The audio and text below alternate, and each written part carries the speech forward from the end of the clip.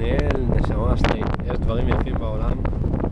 החלטתי להקדיש לך אחד מהם, בטח לא שומעים אותי בגלל הרוח, אבל הנה, שקיעה מעל מצרים.